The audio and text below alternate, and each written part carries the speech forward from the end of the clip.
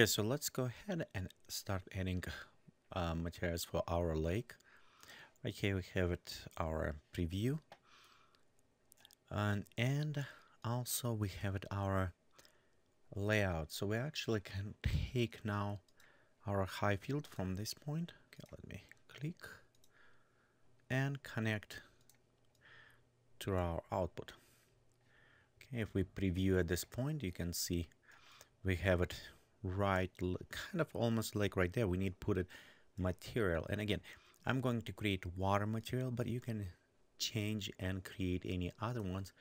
Include it lava if you want with additional texture.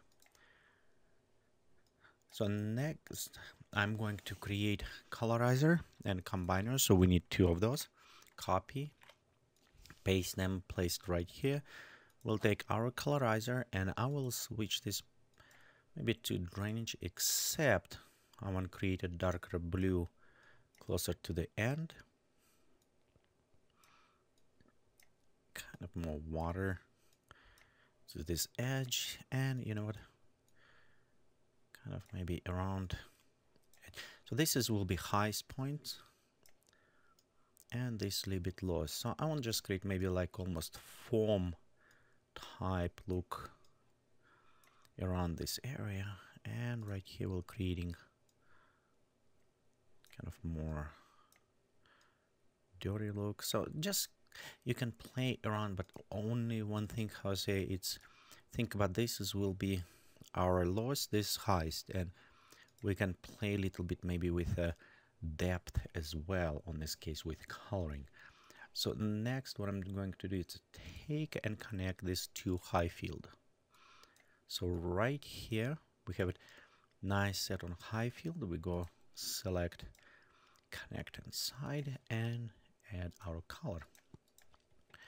And right now okay let me go ahead and change this color to actually we'll go to use it minimum and pop up all the way to the 100 so if we look right here we have it all blue. So what I want to do I want modify this and work with a little bit masking to control that properly so for the masking I want to take from my connection from about water and convert this to um, using constant. So let's go ahead do this.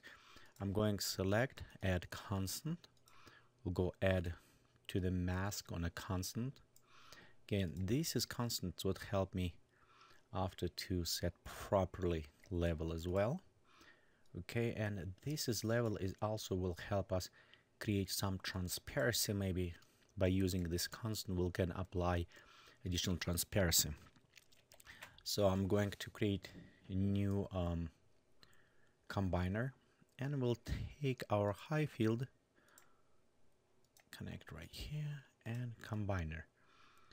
Okay, also I'm going to set, let's go open this right now and this is we'll just go ahead and set as a differences on this okay? And maybe I don't know just set around. This area except differences is have it nice you can see right edges. It's why I want to create four more different color. So but now I needed to um, cut off so we'll go to the mask and right in this area right here you can see we have it very nice effect on the different differences. So the edge is a little bit higher than middle. This is actually it's what I was going for because with these edges remember it's uh, a apply the height of terrain below. So we can apply different transparency now will be lighter or darker depending on the height of this. So we can apply darker more solid inside and a little bit more transparent on the edges base it closer to the edge okay so the edge still be a little bit sharper I want to go to probably just let's just in case put a little bit blur between this and this so we'll go apply maybe about 15, somewhere around there. And we can go ahead connect this to the um, masking. So right here, see how we have a nice mask. Okay, we'll log preview. I'll take my constant and I can increase. Look on this. now I have a transparency and because we have a difference apply notice our transparency change on the edge less than on the middle so we can create real depth of this water okay let's preview okay click preview right here and you can see we applied of course I have a little bit problem around edge which I need to rework. So we'll need content take this one and bring it closer. But overall right here we have a very rough shape right now with the water going around. Um, to rework on those ones it's many times involved to set properly shape to contain this in right area. And this is kind of done between selecting um, our connection right here you know what let me go rename this. It's a water spread let's call around this one. And we also have it right here water level.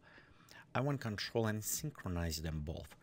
To easy way to do this actually it's using scalar parameter.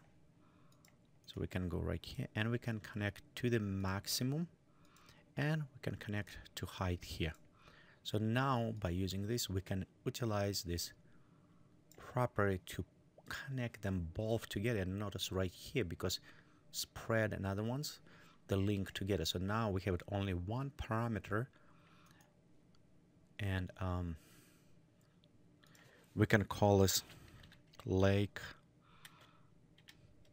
height. So on this case by modifying this parameter we can control both how far lake spread and going up. Okay so let's go ahead open oops right here. Preview is locked. So in this case what I'm going to do it's a open lake height and you can see I can create a small lake increase in size same as my uh, water. Of course if we're going above the edge we have a problem but in this case you can create a nice glacier effect or other thing. But overall right here we have our lake. You see how materials interact creating semi uh, transparency effect. Not really but kind of faking one. And we also have a water transparency. Okay let me see if I set right here. This will be let's go to set name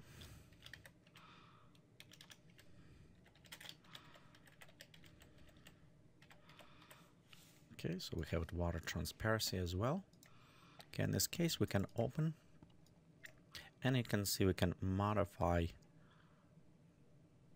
the layer transparency that going through this water kind of. So increase depth or other ones. Also uh, right this right here with water we're using minimum. You can try to create um, in some cases different type um, layer water effect and method of blanking uh, blending. See which one will work best for you. And overall right here we have our output. Again um, to create properly we need to go and create bitmap output. And we'll just take connection right here select it. Okay preview. So right here we have our image. And overall okay let's preview. This is just our color map that simulates somewhat transparency for our materials. And overall we have it again effect um, these materials will need work and you also can output additional um, map if you want it for your water. So in this case if you have it, any um, reflection you want to add to the water you can just take output from um, water spread from this area and just apply this as a masking for reflection if you need it. But if you just work straight out uh, um, from world um, World Machines let me open and render one more time on higher. So right here you can see we have a very nice interesting spiky effect that I add with higher resolution and you can create from them we can color them actually as a fir tree. So you can have it fir tree um, inside the lake and you can create this inside the World Machine. Again if this spike is too high for you or you want modified remember it's right around this area where we work with them. You can go inside and increase a little bit smoothing or reduce amount of the spike just bring them down. As well if you need additional you can add blur filter just right between there which is will bring also down them as well. Okay or if you um, always can go ahead and put an additional clamp just to take uh, some of this sharpness away it's multiple ways you can do it so normalize input and bring them way down maybe to about no more than maybe one meter high. So from zero to one meter. Okay we don't we just need a clamp soft clamp normalize. So in this case um, you can see them they just teeny tiny about one meter height okay maybe just so we can preview let's set them maybe to 10 meters. Okay, okay right here. 15 meters. Let's click ok. So right here you can see we have those rocks. So they're not very high and spiky. Okay and now let's go inside and render the again okay and you can see right here we cut down on the fir trees but some small rocks still be.